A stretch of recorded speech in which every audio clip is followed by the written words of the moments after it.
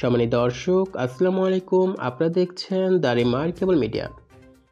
ইস্তাম্বুলে বোমা হামলার পাল্টা পদক্ষেপ হিসেবে সিরিয়ার উত্তরাঞ্চল ও ইরাকের বিভিন্ন জায়গায় একযোগে সামরিক অভিযান শুরু করেছে তুর্কি সেনাবাহিনী। রোববার অর্থাৎ বিশ নভেম্বর দেশ দুটির বিভিন্ন সন্ত্রাসী আস্থানা লক্ষ্য করে বিমান হামলা চালানো হয়। এতে সাংবাদিক সহ কমপক্ষে একত্রিশ জন নিহত হয়েছে বলে জানা গেছে। তুরস্কের হামলার বিষয়ে তাৎক্ষণিক কোনো মন্তব্য করেনি সিরিয়া ও ইরাক। সংবাদ মাধ্যম ফ্রান্স টোয়েন্টি ফোর জানায়, রোববার সিরিয়ার বিভিন্ন জায়গায় একযোগে বিমান হামলা চালায় তুর্কি সেনাবাহিনী।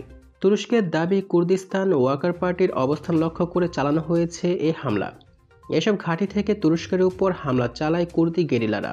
Syrian observatory for human rights জানায়, কুর্দি বাহিনী দখলে থাকা অঞ্চলগুলোতে হামলা চালিয়েছে তুরস্ক।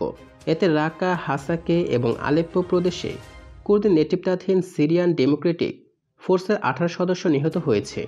এছাড়া সিরিয়ার সামরিক বাহিনীর বারো সদস্য এবং একজন সাংবাদিক এ হামলায় প্রাণ হারান বলে জানানো হয়।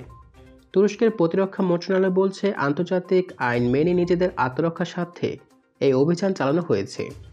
বন্ধুরা, কম সময়ে বড় খবর পাওয়ার জন্য সাবস্ক্রাইব করুন দ্য রিমার্কেবল মিডিয়াকে।